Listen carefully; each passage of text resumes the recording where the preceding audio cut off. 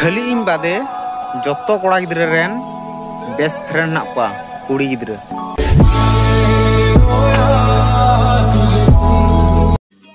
সমঝ रहे